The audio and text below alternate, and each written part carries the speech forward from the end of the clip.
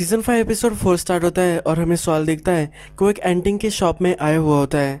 उसे एक बहुत ही स्पेसिफिक चीज़ चाहिए होती है, कुछ चीज़ें उसे थ्रो करने के लिए। उस शॉप में वो बहुत सारी चीज़ें देखता है, पर किसी को वो थ्रो कर सके, ऐसी उसे कुछ भी नहीं मिलती। फिर एक कोने में बॉलिंग के बॉल उसे मिलते हैं। नेक्स्ट सीन में हमें दिखता है कि सॉल और किम दोनों काम के लिए जा रहे होते हैं। जो बियर बॉटल्स उन्हें नीचे फेंकी होती है किम अब उसे साफ़ करने वाली होती है। सॉल बोलता है कि तुम्हें साफ़ करने की कोई भी ज़रूरत नहीं है। तुम बिल्डिंग को इसके ही पैसे देते हो मेंटेनेंस तुम इसका ही देती हो। वो सॉल को आगे जाने के लिए बोलती है और वो साफ़ करने लग जाती है। सीन में दिखता है कि सॉल की दो उसके क्लाइंट से मीटिंग हो रही होती है। ये वही उसके क्लाइंट होते हैं जो उससे फ़ोन बाय करते थे। इस एपिसोड में हमने देखा था कि पूरी सिटी में गंदगी करते हुए, कुछ भी करते हुए हमें वो दिखे थे। अब उन्हें पकड़ा गया है और सॉल उन्हें डील दे रहा होता है। सॉल उनको बोलता है कि तुम्हारे लिए वन ईयर मिल रहा है। अगर तुम ये डील एक्सेप्ट कर लेते हो तो पाँच छः महीने में तुम बाहर निकल सकते हो। वो उन्हें रिहाब में जाने के लिए भी बोलता है, पर वो बोलते हैं कि हम रिहाब में नहीं जा सकते। हम डील लेने के लिए रेडी है, पर रिहाब में हमें नहीं जाना। सॉल बोलता है कि मैं कुछ ऐसे रिहाब को जानता हूँ, जहाँ तुम्हें डायरेक्टली सर्टिफिकेट मिल जाएगा। सॉल इन कामों में मास्टर होता है, इस सर्टिफिकेट्स वगैरह लाने के लिए। सॉल फिर उन्हें अपनी फ़ीस बताता है। वो फोर के होती है। वो फिर पीछे हट जाते हैं। उसमें से एक दूसरे को बोलता है ये इतने पैसे हम कैसे दे सकते हैं? स्टेट भी हमें एक लॉयर असाइन करता है। उससे हम डील कर सकते हैं। सॉल्व फिर उन्हें बोलता है कि तुम जैसा पे करते हो, वैसा ही तुम्हें मिलता है। अगर तुम स्टेट असाइन लॉयर के साथ जाओगे, तुम्हें ट्वेंटी मंथ्स के लिए जेल हो सकती है। वो फिर ये सुनकर डर जाते हैं और बोलते हैं कि हम ये डील करने के लिए रेडी है। हावर्ड ने सॉल को लंच के लिए बुलाया होता है। और सॉल से पूछता है कि तुमने अपना नाम क्यों चेंज कर दिया है? मुझे बताओ, ये सॉल गुड नेम नेम क्या रिप्रेजेंट करता है? फिर सवाल बोलता है कि जब लोग कोई भी आशा नहीं, उन्हें दिखती और उन्हें पता होता है कि अब वो जेल में जाने ही वाले हैं, जब उनके लिए कोई भी उन्हें बचाने के लिए नहीं आता, तब वो नाम लेते हैं सॉल गुडमन ये बहुत ही अच्छे से वो हावर्ड को ये आइडिया सेल करता है। हावर्ड भी इससे इम्प्रेस होता है। हावर्ड फिर उसे बोलता है कि तुम आजकल बहुत ही अच्छा कर रहे हो और मैं बहुत सारा तुम्हारे बारे में सोच रहा हूँ। जब स्कॉलरशिप कमेटी में तुमने उस लड़की को चांस देना चाहा, तब से मैं तुमसे इम्प्रेस्ड हो चुका हूँ। तुम हमेशा हसल वगैरह करते रहते हो और तुम्हें जो चाहिए, वो तुम पा ही लेते हो। फिर हावर्ड उसे ऑफ़र देता है। हावर्ड उसे बोलता है कि तुम्हें एच एच एम ज्वाइन करना चाहिए। मैं तुम्हें पार्टनर भी बना सकता हूँ। सॉल बोलता है कि मैं इस पर हंड्रेड परसेंट सोचूँगा। नेक्स्ट सीन में हमें दिखता है कि मैसा वर्डे की यहाँ किम की मीटिंग चल रही होती है। किम केविन को बोलती है कि जो ओल्ड मैन है, वो अपना हाउस सेल नहीं करने वाला। फिर उसके पास एक आइडिया होता है।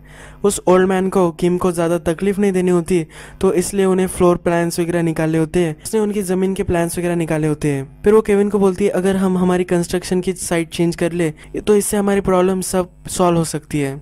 हमारी टाइमलाइन में भी हमें ज़्यादा तकलीफ़ नहीं आएगी। पर भी केविन को ये एडजस्टमेंट अच्छी नहीं लगती। नेक्स्ट सीन में हमें दिखता है कि मैं अपनी डॉटर इन लॉ के यहाँ आया हुआ होता है। आज उसका डे होता है कायली को बेबी सिट करने का। फिर उसकी डॉटर इन लॉ बाहर आती है और माइक से पूछती है कि तुम यहाँ क्या कर रहे हो? माइक उसे बोलता है कि मैं आज बेबी सीट करने वाला हूँ, पर उसे बोलती है कि आज अच्छा टाइम नहीं है। वो बोलती है कि पिछले बार तुम चले गए थे, उसके बाद तुमने मुझे कांटेक्ट नहीं किया तो मुझे लगा कि तुम अब बेबी सीट नहीं करने वाले हो, इसलिए मैंने जॉब किसी और को दे दिया। माइक बोलता है कि तुम्हारे बेबी सीटर को मैं पैसे दे दूँगा, उसे हम घर भेज देंगे, पर फिर वो नहीं मानती। वो बोलती है कि तुम अपने लिए कुछ टाइम लो, और नेक्स्ट वीक में मैं तुम्हें डिनर के लिए बुलाऊँगी। नेक्स्ट जो सीन है वो कोर्ट रूम का है। कोर्ट रूम में अपने क्लाइंट को सॉल्व रिप्रेजेंट कर रहा होता है। जिसने उसके क्लाइंट के अगेंस्ट केस डाला होता है, उसे वो कोर्ट रूम में बुलाता है। उसे पूछता है कि मेरा क्लाइंट यही है जिसके अगेंस्ट तुमने चार्जेस प्रेस किए हैं। फिर वो आदमी बोलता है कि हाँ ये वही है। पर सॉल ने ट्रिक की होती है। उसके क्लाइंट जैसा देखने वाला ही उसने डेस्क पर बैठा हुआ होता है और उसका क्लाइंट लोगों के साथ बैठा हुआ होता है। इससे केस डिसमस हो जाती है। किम भी इस कोर्ट रूम में आई हुई होती है। किम को उस ओल्ड मैन को उससे घर से निकालना अच्छा नहीं लग रहा है तो अब ये केस वो सॉल को देने वाली है। सॉल किसी भी हद तक जा सकता है उसके इंटरेस्ट के लिए। वो सॉल कर बिलीव करती है तो इसलिए वो उसे डील दे रही है। नेक्स्ट सीन में हमें लॉस पॉलस हरमानस दिखाया गया है। वागस और उसका जो मैनेजर होता है, वो दोनों होते हैं। उसका मैनेजर सब लोगों को घर जाने के लिए बोलता है और वो वही काम कर रहा होता है। फिर गस वहाँ आता है और गस उससे बोलता है कि ये जो पॉट्स है, ये अच्छे से क्लीन नहीं हुए हैं। तो फिर वो मैनेजर बोलता है कि मैं इसे फिर से क्लीन कर दूँगा।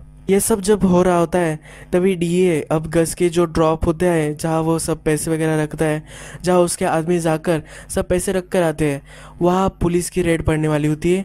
हैंक और श्रेडर दोनों वहाँ होते हैं। ये दोनों इन सब लोगों को पकड़ने वाले होते हैं। जब वो मैनेजर बोलता है कि अब मैंने ये सब कर लिया है गस फिर से उसे बोलता है कि अच्छा नहीं हुआ है।